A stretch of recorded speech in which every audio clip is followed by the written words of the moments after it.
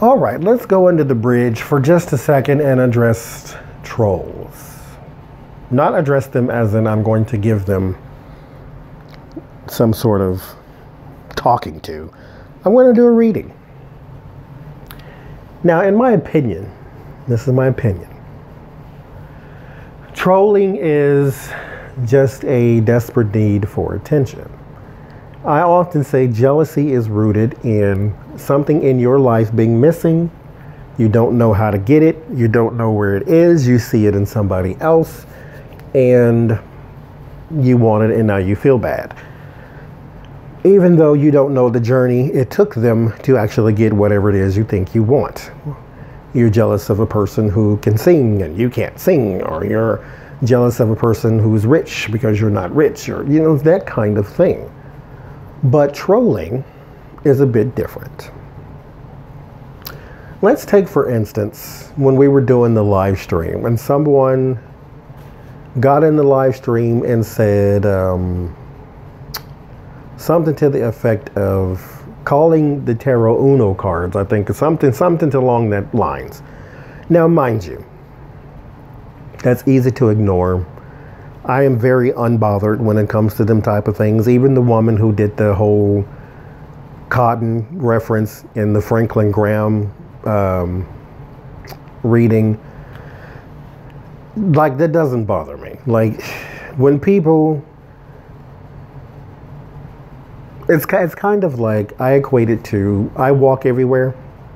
From time to time, this doesn't happen often, thank God, but from time to time, I'm walking down the street and the car that's about to pass me, someone leans out the side of the car and screams, or, yeah, you know, whatever.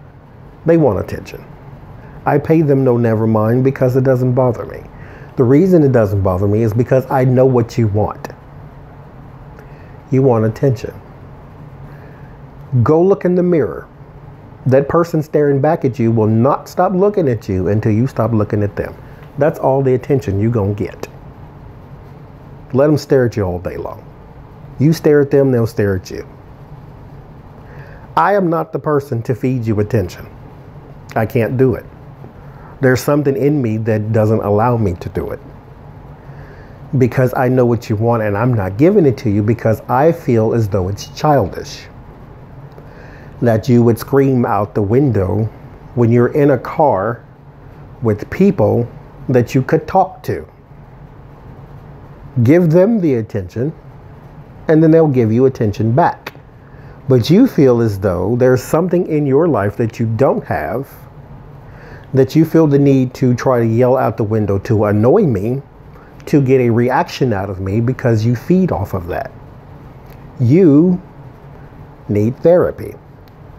And I don't even say that lightly, that's not a joke, that's for real you need actual therapy because there is something missing that you feel annoying another person will fulfill. When the person came in about the Uno card comment, you want attention and you are unfulfilled in your real life. Therefore, you feel as though annoying me will fulfill you. You need therapy. I won't call you mentally ill just yet. But you do need actual psychological analysis. You need to sit across from a person and explain to them what you just did, and then maybe they can uncover why it is that you're doing that. Because I don't believe it is just inherent for you to be an annoying person or a mean and spiteful and nasty person there is something in you unfulfilled, whether it's your spirit, whether it's your life, your job, your relationships, your money, your whatever it is. It is unfulfilled. Therefore, you seek other people's attention to fulfill it. Now, when I was like 14 ish, somewhere around in there, early middle school days, like eighth, sixth, seventh, eighth grade, I used to sit in the class. I spoke very quickly. I, I, I still kind of, I still do that from time to time, but I spoke very quickly. And so That would get people's attention. And then I would say horrible, nasty things about people on the other side of the room, and then everybody would laugh. Now, there was a loneliness inside that was fulfilled only briefly by other people laughing at the ridiculous, despicable things I would say about other people. And so when a person comes in the room and they're starved for attention because their life is unfulfilled, I'm not giving you that energy. You have to go to therapy. I'm not your therapist. You're going to have to go to therapy. There's something wrong with you. Something wrong with people who see my videos on religious people, whether it's Franklin Graham or the Clark sisters, T.D. Jakes, whoever, and feel the need to call me the devil because I'm doing something they don't understand. There's something wrong with you. All you have to do, well, you don't have to, but all you should do, click on the video because you were, you just say you were unaware that I was about to use tarot cards and you're a religious person and this goes against who you are. You click on it, you see that, click off and go on about your business. You don't have to lash out and call me the devil. Mind you, that doesn't bother me. I'm fine with that too. Just like calling me a unicorn. I don't give, I really don't care. You ain't ever seen the devil, you ain't ever seen a unicorn. It's all the same to me. So, let's see trolling. What is the cause? Was I, was I off? Is it not unfulfillment? Is it brain damage? Is it some sort of childhood trauma? Is it loneliness? What is it?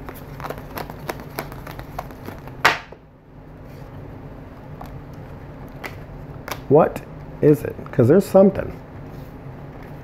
Nobody just wakes up one day and says, I'm going to be a jerk to everybody I can find unless something else is wrong. It's kind of the same with comedians who feel as though the only way to be funny is to tear other people down. So, Six of Cups. That's the childhood card.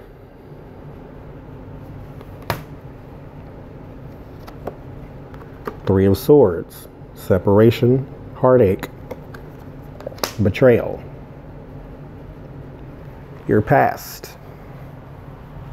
This is why I say you need therapy. Therapy can help you flesh that out. You start the reading with the nostalgia card, the childhood card, and betrayal, and heartache, heartbreak. You started with the past and emotional heartache.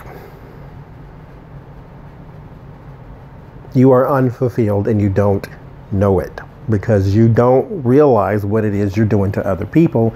You're just doing it because you get a kick out of it, but only momentarily. Therefore, you continue to behave that way. Now, the word of warning, if you want it from just me and not the tarot, is be careful about that because you may run across the wrong person on the right day. Because everybody is not the same when it comes to a troll. Some people know how to trace where you are and come find you. This is why you got to be careful about these kind of things. Now, justice. That's a card of balance.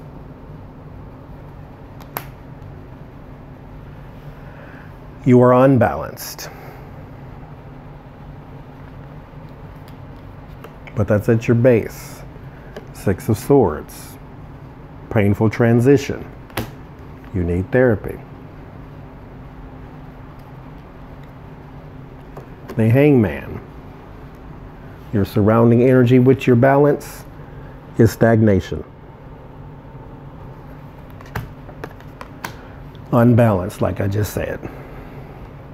Surrounding energy with your transition is the hermit, searching for answers. This is my therapy card.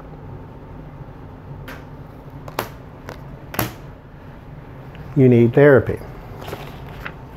Ain't nothing wrong with that. You ain't even got to tell nobody. Just go. If you think it's something shamed about being in analysis, then okay, I understand that. Because, you know, especially in the black community, this is just not something we did. But, because, you know, you go to church and all this kind of stuff, but there are people who go to school to learn how to preach the Bible. And there are other people who go to school to learn how to evaluate the human brain and their behavior. Therapy. The Hermit is my therapy card. You need therapy in your fear. Ace of Wands. The very idea. Because you you feel as though when you are trolling that therapy is for crazy people.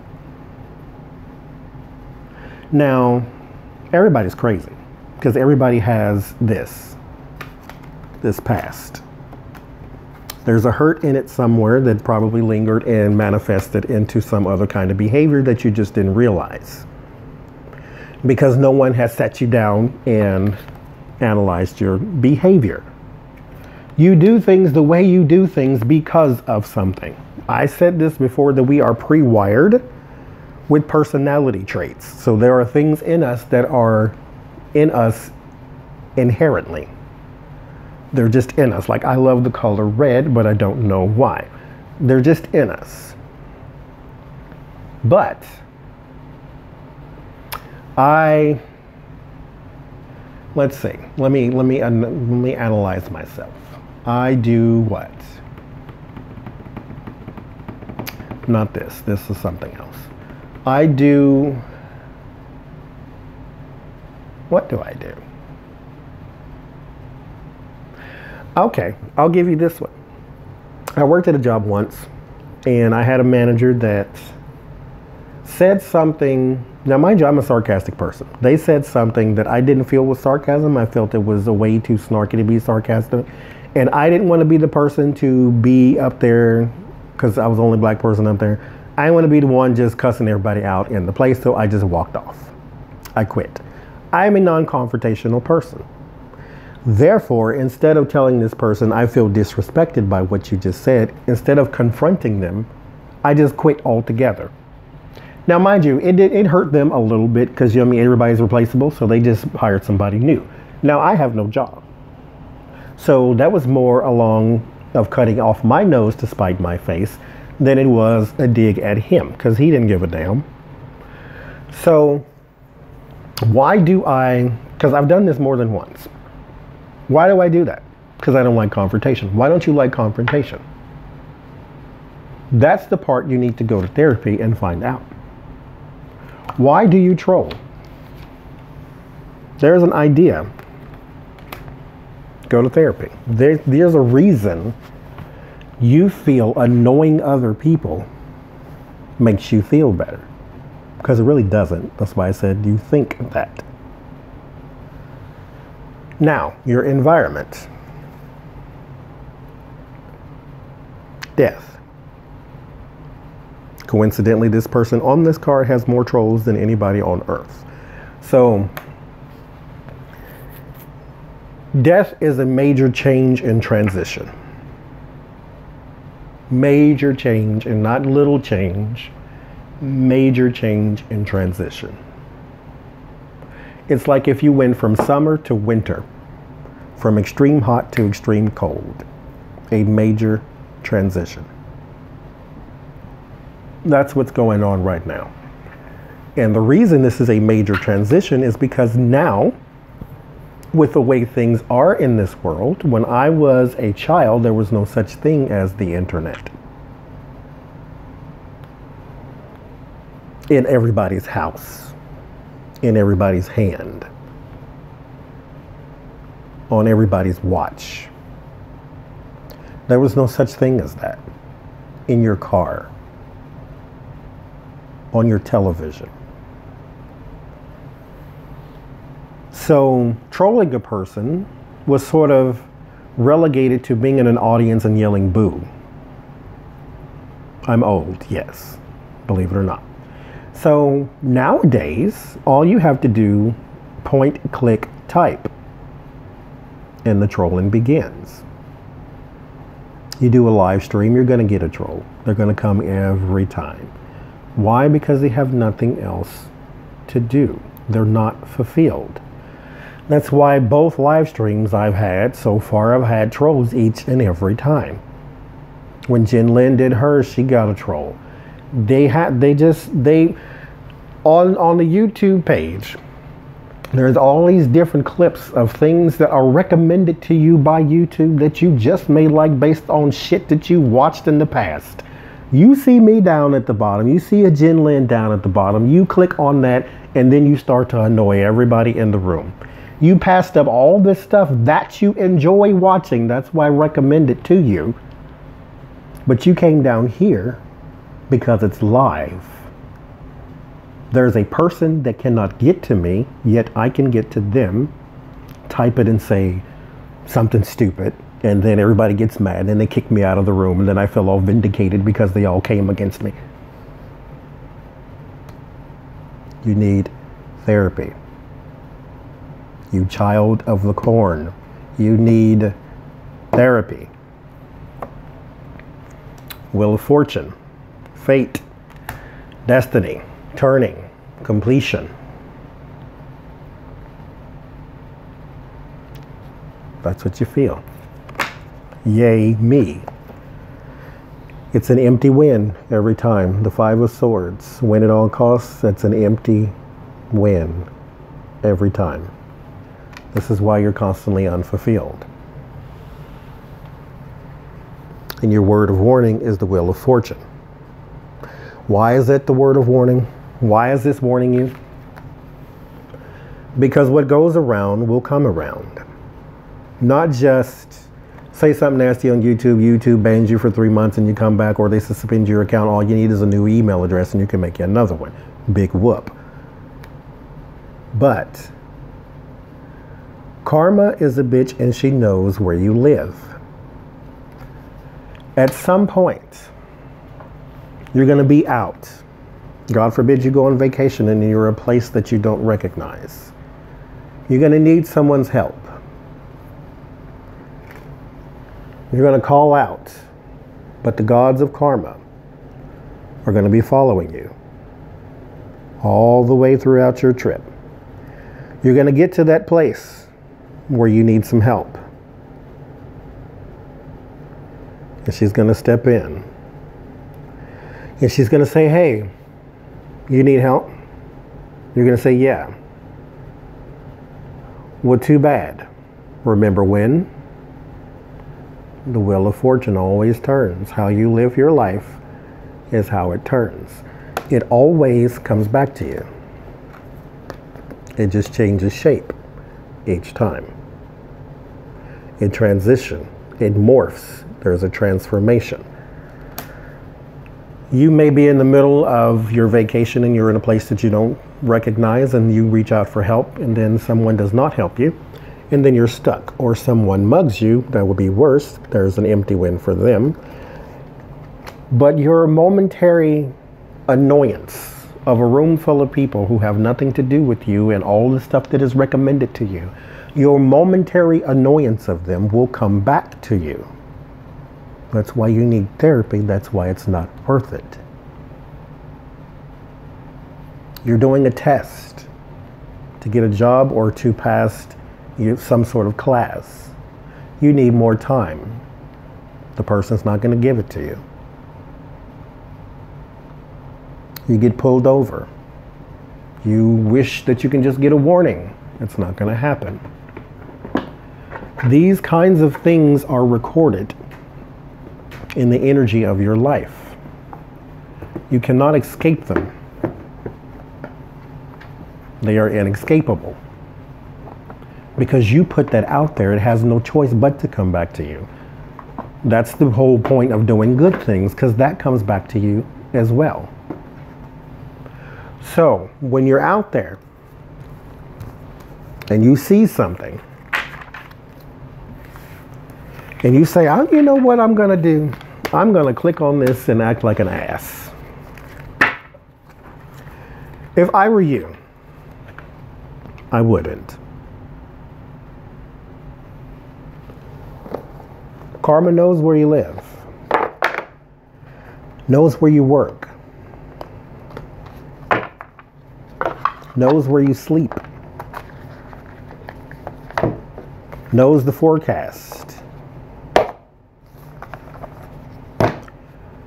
The powers that be are a lot smarter than us.